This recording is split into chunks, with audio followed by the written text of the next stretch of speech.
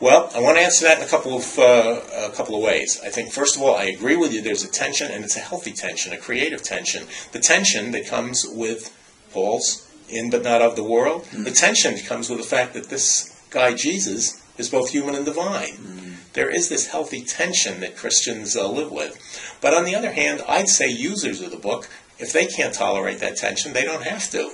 If you cease the sermon as a spiritual uh, uh, message purely, so don't use the stuff that's there Right. that can help you uh, to uh, criticize society. I don't recommend it, but you can certainly use it that way. Right. But on the other hand, if you're somebody who is a quote liberation pastor, a liberation theologian who thinks that every sermon has to be about social justice, you've got the resources to do it. Okay. Okay. So it's a it's a pick and choose, and, and that's another aspect of the Holy Spirit leading you.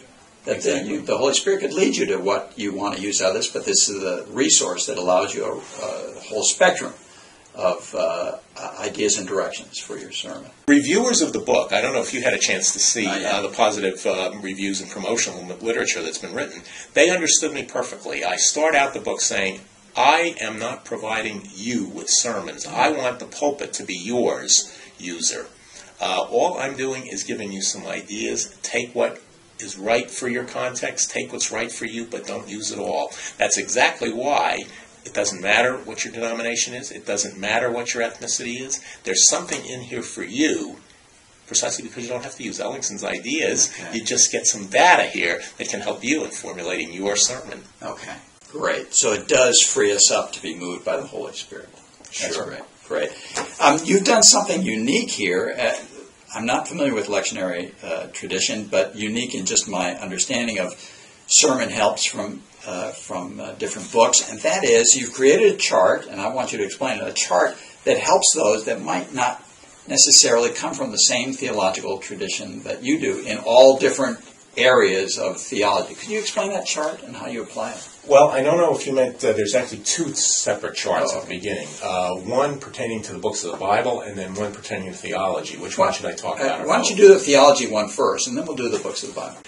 I was concerned, as I said, the thing that made me the most nervous about uh, writing this book was that part where I actually talk about sermon moves, because I don't want users to think they have to use my ideas exactly, and that's the only worth the value of the book.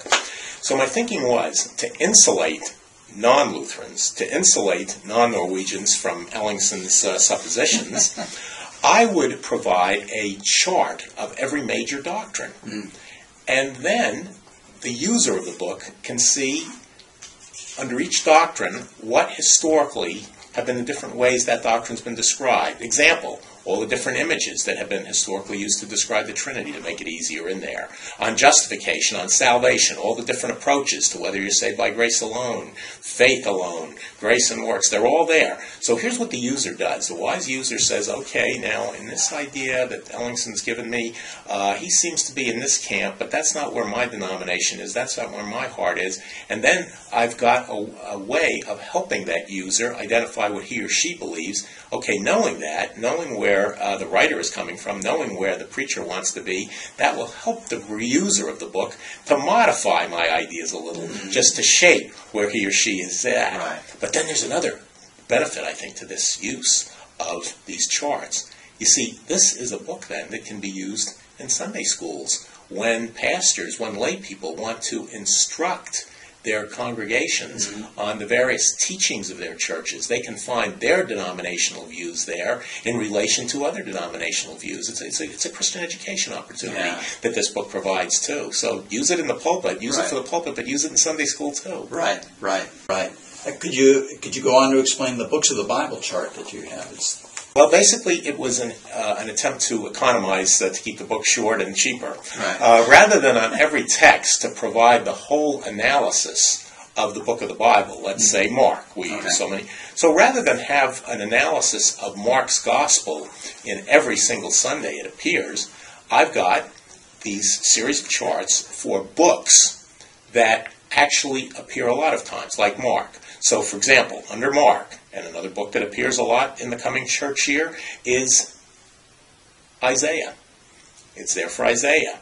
It's there for various epistles. What you find there is a little section with a couple of bullet points on who wrote the book, when it was written, why it was written. right. Then several bullet points under the heading Parts of the Book.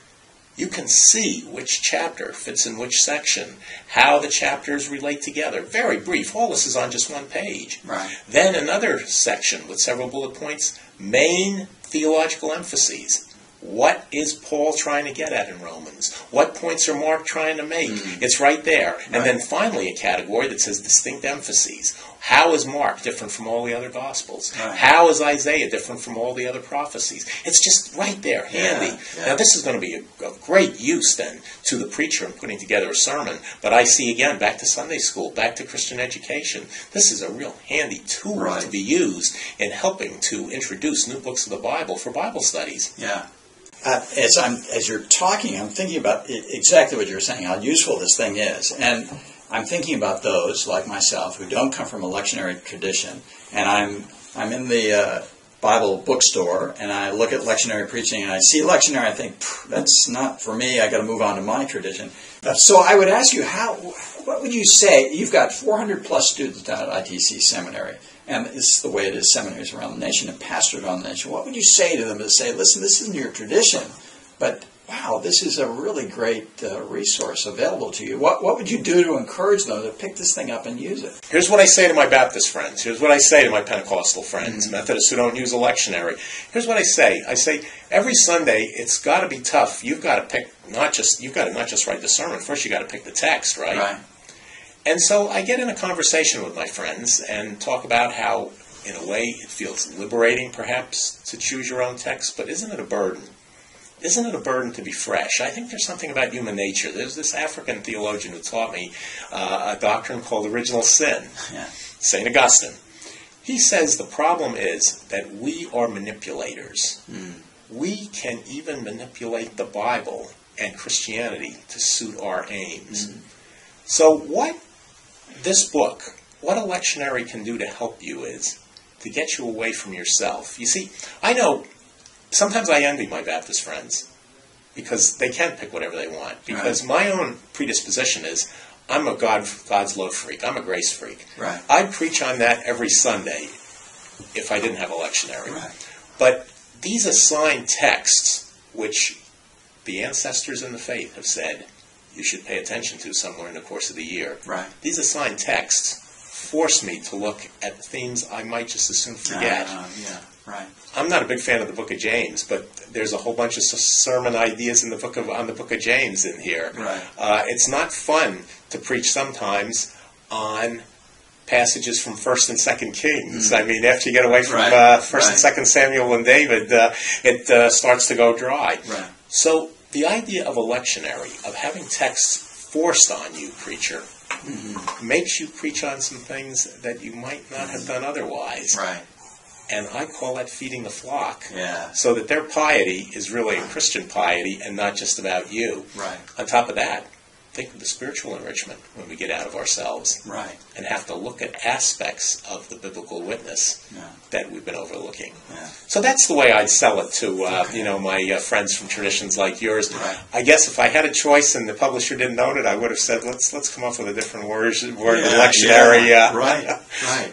But it, it, what you're talking about is the whole counsel of God that that this is pushing toward that direction. Let's get at the the wet the uh, the the width, the breadth, the depth, and the height of the Word of God. Everything. So I'd say non-lectionary uh, uh, preachers from denominations that don't use it, buy the book anyway. You don't have to follow it. You don't have to use it uh, on a given Sunday, but you might just see some books of the Bible analyzed here that you've been dodging, that you've been overlooking, and hey, you sort of been feeling guilty about it. Now you've got some ideas how to handle these texts. That's great. That's great. That's good. Um, how long is this cycle? Are you going to be? uh, It says in here that you're writing more. How many of these? What, how many years are you going to be doing this? It's, it seems like a tremendous amount of work. Well, I have, uh, again, I've no- noted that the Common Lectionary uh, recycles itself every three years. Okay. Uh, for three years in a row, you have a different set of texts. So I was contracted by the publisher, CSS, uh, to uh, for three years, meaning uh, the, the cycle. And this is the first. Uh, I have uh, two more. I'm just about done with the second one, and then uh, we'll have the third. It's a lot of work, yes and no. I mean, you know, writing is a lot of work, Right. but it's also a joy. Uh, I would say I'm certainly putting in my uh, hours, uh, but it's been so rewarding as a church historian for me to get back in exegesis Yeah. again. Yeah. So enriching. And then, of course, uh, by the way, this is another aspect of this book. Anybody who ever wondered what theology and church history have to do with preaching, you need to look at this book because uh, I have mined the insights of the great theologians of the past, what they say about these texts, and even giving you some juicy quotes that can really get you excited Right. about uh, preaching on some themes in that Bible text. Also, this notion of how science might be testified to in the biblical text, how psychology relates to a given text. Right. Once again, this gives you an instant an, an opportunity user to see how these disciplines can inform your preaching.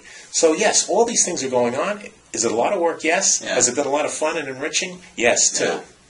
Okay, let, let me ask you this. Um, in the midst of this, are you doing any other work? Is there anything else coming up from you? Well, you know very well. Could you help me on uh, one? Uh, I have a contract for a book called African Christian Mothers and Fathers. Now, I had done a book uh, several years ago, still in print, on the richness of Augustine.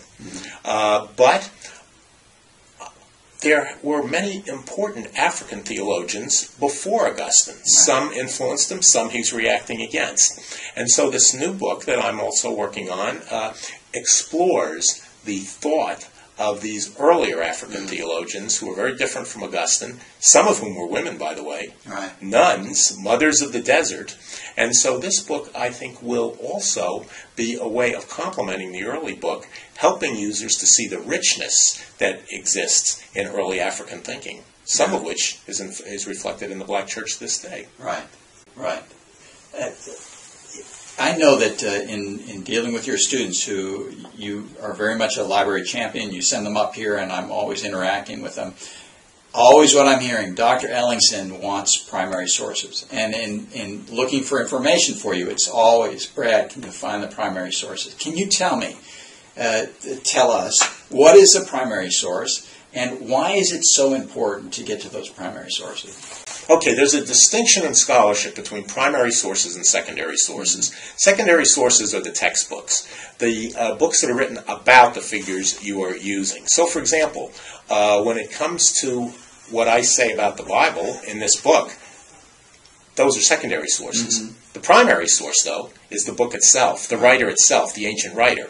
The primary source, when you're studying the Bible, is the Bible itself. Right. Now, in terms of my students uh, teaching church history as I do, uh, I want them not just to see what Ellingsen and other interpreters say about St. Augustine, say about Martin Luther King, say about Martin Luther. I want them to read the actual writings of Augustine, Martin Right. Luther King, and Martin Luther. Those are the primary sources. Right. That's where the gold is. And by the way, that's the thing about this book.